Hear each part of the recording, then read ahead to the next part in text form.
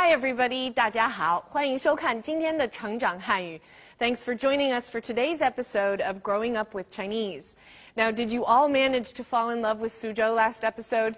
If not, well, you have another chance. Indeed, our cast of characters continue to explore the beauty of this town today. So let's check in with them and see where they're off to in Suzhou today.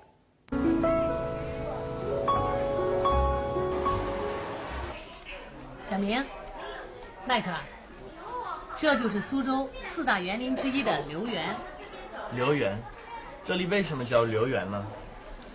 我猜啊，可能是因为留园太美了，让人流连忘返，所以才叫留园吧。小明，你还挺有想象力的。不过啊，其实啊，留园原来的主人姓刘，人们就都管这座园林叫做留园。姓刘的刘，又与停留的留同音，所以才有了今天的留园。是这样的，小明、麦克，我考考你俩，你们知道苏州的四大园林指的是哪四座吗？我只知道有留园，这还是刚听阿姨说的。你这孩子，小明，你呢？对我来说，这道题太简单了。苏州四大园林分别是沧浪亭、狮子林、绝正园和我们现在逛的留园。哎呦，小明，你还真让爸爸刮目相看呢！爸爸，咱们好不容易才来一趟苏州，我说什么也得提前做点功课吧。看来我也得向你学习呀、孩子们，来，咱们去前面的厅堂里看看。走，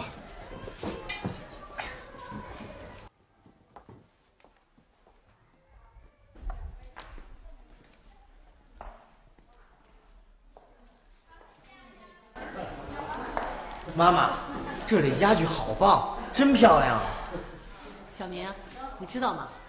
这些家具都是楠木的，所以这里也叫楠木厅。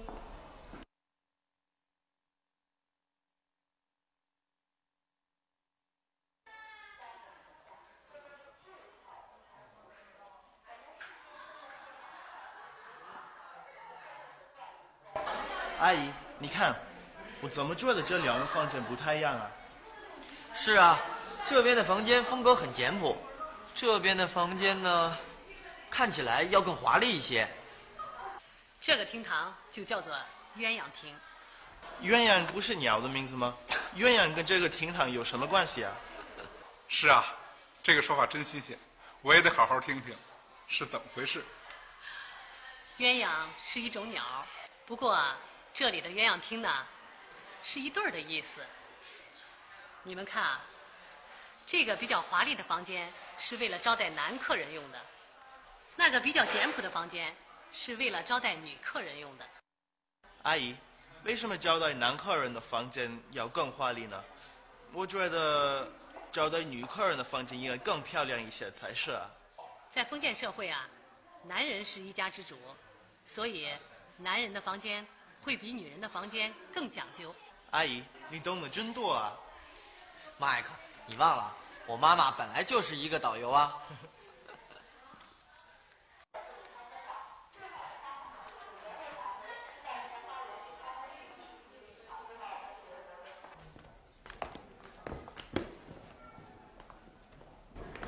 对了，李红，留园里有卖苏州特产的吗？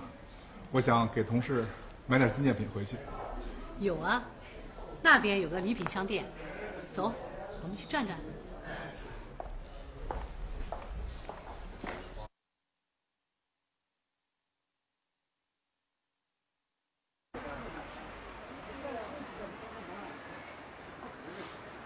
老王，你看，这就是大名鼎鼎的苏绣。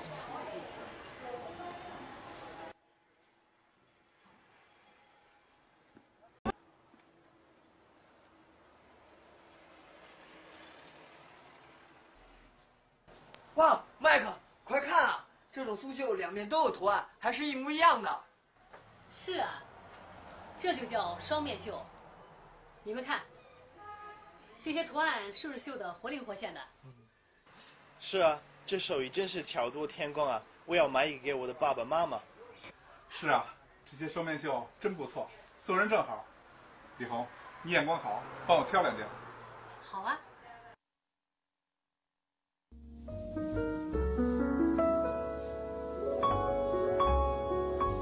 Xiaoming's mom said today, 刘园原来的主人姓刘，人们都管这座园林叫做刘园。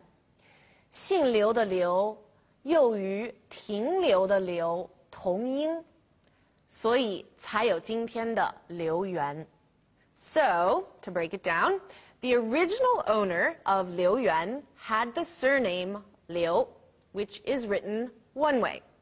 But the surname Liu sounds identical to the Liu of Ting Liu, which means to stop, stay, stay for a time, or remain. And this is how we get Liu Yuan, lingering garden. 姓刘的刘, the Liu of the surname Liu. 停留的留, the Liu of 停留. Do you see how the differentiation works?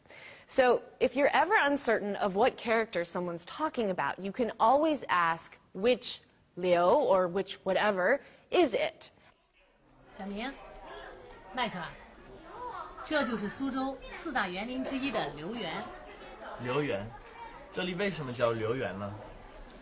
我猜啊，可能是因为留园太美了，让人流连忘返，所以才叫留园吧。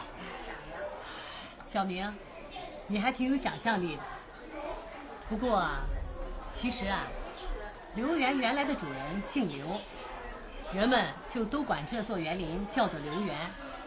姓刘的刘又与停留的留同音，所以才有了今天的留园。是这样的， Now, a fun four character idiom came up today, and it was 刮目相看. The meaning of 刮目相看 is to look at someone with new eyes or regard someone in a totally different light, treat someone with increased respect. Now, if we break it down, gua on its own means to blow, as in the wind is blowing. Mu means eyes, and xiang kan means look or see for oneself. So if the wind blows across your eyes, you might need to rub them and look again, right? And things might have changed. Haha. So again, 刮目相看 means to see someone in a different light. 是这样的。小明、麦克，我考考你俩，你们知道苏州的四大园林指的是哪四座吗？我只知道有留园，这还是刚听阿姨说的。你这孩子，小明，你呢？对我来说，这道题太简单了。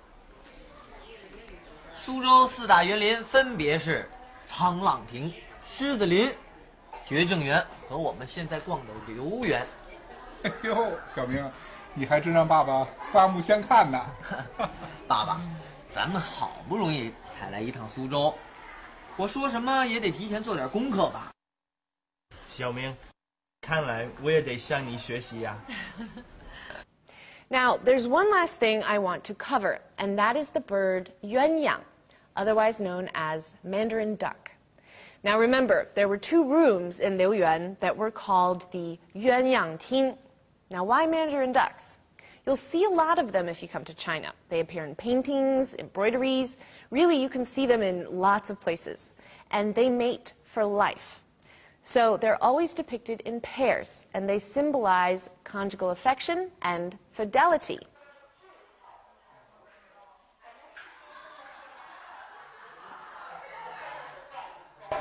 阿姨，你看，我怎么觉得这两个房间不太一样啊？是啊，这边的房间风格很简朴，这边的房间呢，看起来要更华丽一些。这个厅堂就叫做鸳鸯厅。 鸳鸯不是鸟的名字吗？鸳鸯跟这个厅堂有什么关系啊？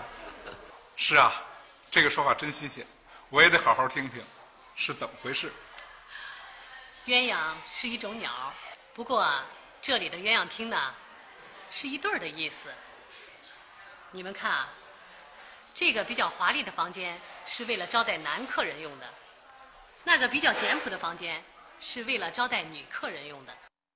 阿姨，为什么招待男客人的房间要更华丽呢？我觉得招待女客人的房间应该更漂亮一些才是啊。在封建社会啊，男人是一家之主，所以男人的房间会比女人的房间更讲究。阿姨，你懂得真多啊！麦克，你忘了，我妈妈本来就是一个导游啊。All right, now let's take a few minutes to go over today's vocabulary. 停留, stay for a time, stop, remain. 停留。简朴, simple and unadorned, plain. 简朴。华丽, magnificent, resplendent, gorgeous. 华丽。大名鼎鼎 famous, well known, celebrated. 大名鼎鼎. All right, it's language point time, everyone. So let's begin with 说什么也.说什么也 is typically followed by a negative pattern and means no matter what happens, X won't happen.